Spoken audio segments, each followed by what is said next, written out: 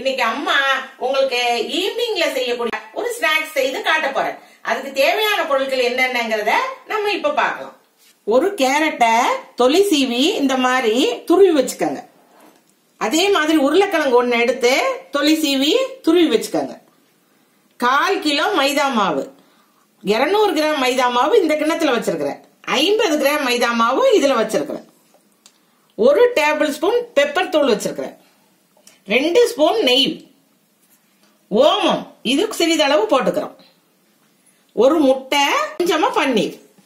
இப்போ இதை எப்படி செய்யலாம்னு பார்க்கலாம். ஒரு பவுல் எடுத்துக்கோங்க. அதுல இந்த மாவை கொட்டிக்கங்க. 200 கிராம் மாவை.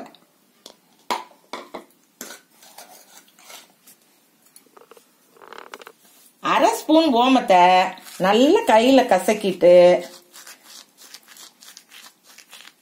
இதுல சேர்த்துக்கங்க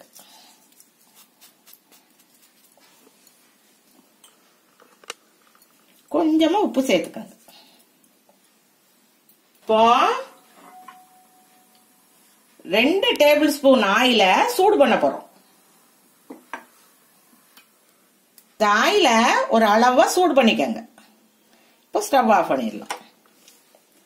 இந்த ஆயில இதுல கலந்துக்கிறோம். இப்போ ஆயில் சூடா இருக்கும் இல்லைங்களா? அதனால நம்ம இப்போ ஆயில் சூடா இருந்ததுனால ஒரு கரண்டி விட்டு கிளறி விட்டோம். இப்போ இதை நல்லா கையில கலந்துக்கலாம். டீ இல்லாம பிசுறு இல்லாம நல்லா விரவிக்கலாம் இப்போ கொஞ்சம் கொஞ்சமா தண்ணி விட்டு சப்பாத்தி மாவு பதத்துக்கு பிசைய போறோம். இந்த மாதிரி நல்லா சப்பாத்தி மாவு பதத்துக்கு நல்லா பிசைஞ்சு வச்சுக்கோங்க.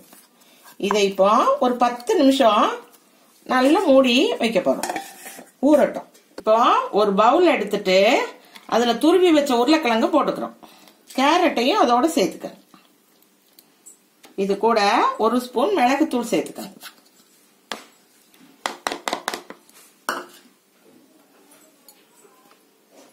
அதுக்கு தேவையான உப்பு. நல்லா ஒரு ஸ்பூனால கலந்துக்கலாம். கால் மணி நேரம் இந்த மாவு நல்லா ஊறிடுச்சு. பாத்தீங்களா? அவ்வளோ சாஃப்ட் ஆயிடுச்சு பாத்தீங்களா?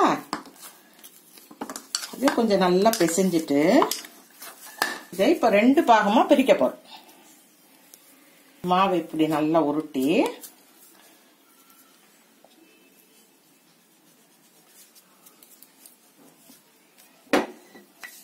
சப்பாத்தி மாவு பத்துக்கு தேய்க்க போறோம்.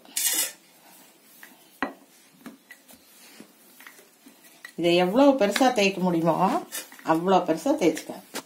இப்போ இந்த மாதிரி அகலமா தேய்ச்சிட்டு கொஞ்சமா இதுல முட்டை அப்ளை பண்ணிக்கங்க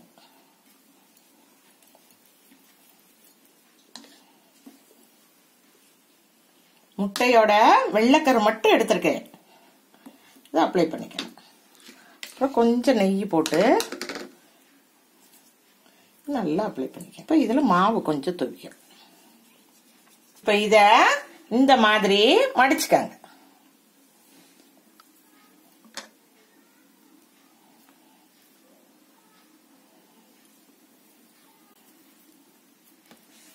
இந்த மாதிரி மடிச்சு ஒரு தடவை நல்லா ரவுண்டா தேய்க்கும். இப்போ இந்த மாதிரி நீள் வாக்கில் தேய்ச்சிட்டு கொஞ்சமாக நெய் அப்ளை பண்ணிக்கங்க. இப்போ அதுக்கு மேலே மாவு கொஞ்சம் துவிக்கணும் இப்போ இது இந்த பகுதியிலேருந்து பாதியாக மடிச்சு விடுங்க. அதே மாதிரி இதையும் ஃபுல்லாக மடிச்சு விடுங்க.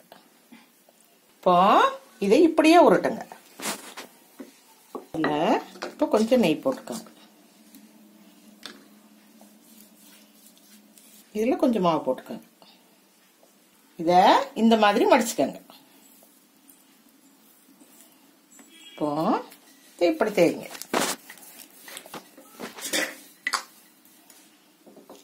இதுல இப்போ நம்ம கேரட் துருவலையும் உருளைக்கிழங்கு துருவலையும் இதில் பரப்பிக்கிறோம். இப்போ இந்த பன்னீரை இதுல இப்படி துருவி விட்டுருங்க. இப்போ இது அப்படியே ரெண்டா மடிச்சுக்கலாம். இதுல இந்த விளிம்புல கொஞ்சமா நெய் தடவிக்காங்க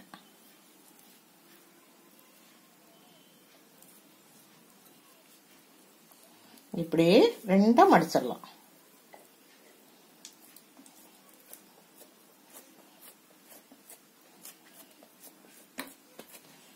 இப்போ இதை மெதுவா லேசா தேய்ச்சி விட்டுக்கலாம்.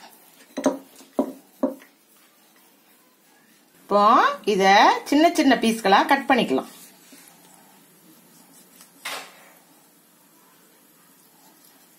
இந்த மாதிரி இத பீஸ் பீஸா கட் பண்ணி வச்சுக்கோங்க. இப்போ கடாயில ஆயில் ஊத்தி அம்மா காய வச்சிருக்கிறேன்.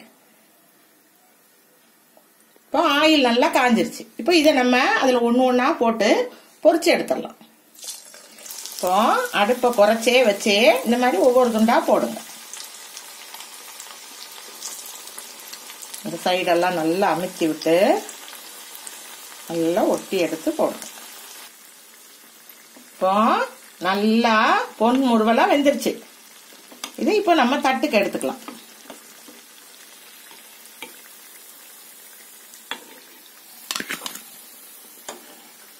பிள்ளைங்களா இன்னைக்கு அம்மா உங்களுக்கு ஈவினிங் ஸ்நாக்ஸா ஒரு மொறு மொறுன்னு ஒரு ஐட்டம் செஞ்சு காட்டியிருக்கிறேன்.